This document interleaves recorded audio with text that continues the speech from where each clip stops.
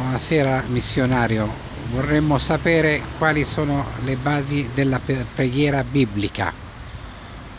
Quali sono le basi della preghiera biblica? Sì, eh, io ho sempre insegnato che sono adoration, confession, thanksgiving and supplication, sarebbe adorazione, confessione, ringraziamento e supplica.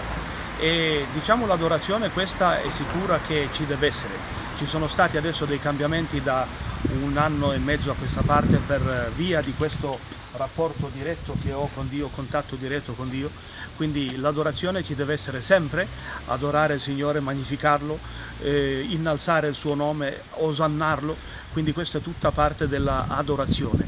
Riguardo alla confessione, è, non sto dicendo di non eh, chiedere perdono a Dio, sto soltanto dicendo che eh, il fatto che Lui è morto per noi eh, lui ci ha già perdonati, ha perdonato i nostri peccati passati, presenti e anche futuri, quindi ha perdonato tutti i nostri peccati. Il fatto che noi continuiamo a chiedere perdono, a chiedere perdono, a chiedere perdono, significa che noi abbiamo poca fiducia, poca fede nel, nel valore salvifico e di redenzione che il Signore ha fatto per noi. Quindi questa opera che Lui ha fatto sulla croce, l'opera di redenzione, è totalmente sufficiente e potente ed efficace di perdonare tutti i nostri peccati. Quindi eh, chiedere continuamente perdono a Dio, continuamente perdono a Dio, non è necessario, perché Lui ci ha già perdonati e se noi chiediamo continuamente perdono a Dio significa che noi abbiamo questo dubbio, mi ha perdonato, non mi ha perdonato. Non sto dicendo che non bisogna chiedere perdono, anch'io poco fa ho chiesto perdono per dei pensieri malvagi che ho, quindi ogni tanto bisogna chiedere perdono, ma è più comodo per noi chiedere perdono perché ci dà un senso di pace, di serenità, ci mettiamo l'anima in pace in qualche modo. No?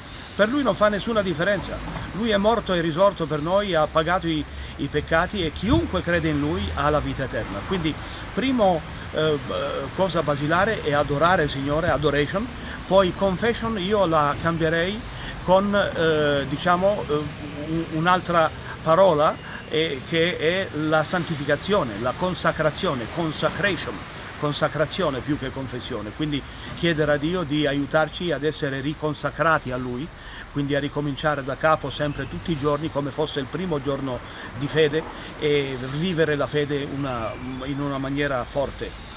E poi il terzo è ringraziamento, no? ringraziamento questo ci deve essere sempre come l'adorazione, non deve mai variare, ringraziarlo soprattutto per eh, la vita eterna che ci ha dato, ringraziarlo per tutto ciò che ci dà, che ci alziamo, che camminiamo, che possiamo fare tutte le cose per il lavoro se c'è, se non c'è il lavoro per la salute, se non c'è la salute per la vita eterna, c'è sempre un modo per ringraziarlo.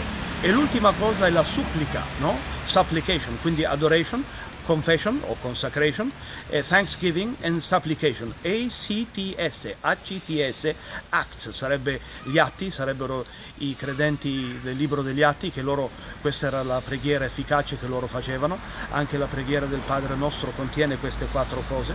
Mm, in maniera un po' diversa diciamo. E quindi l'ultima uh, cosa è proprio supplicarlo chiedere a lui quello che eh, noi vogliamo, in realtà neanche questo è necessario, perché la scrittura ci dice che prima che noi apriamo la bocca, lui già sa quello che è buono per noi.